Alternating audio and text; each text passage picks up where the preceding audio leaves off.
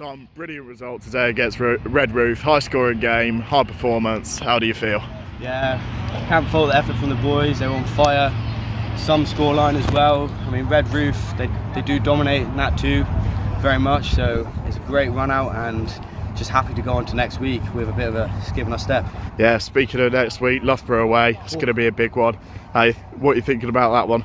Uh, says enough itself, really. I think boys are going to be flying into that. We've got a good kick behind our step. I mean, I think we're ready for it and we're training well, we're playing well. We just need to keep backing it up as a team.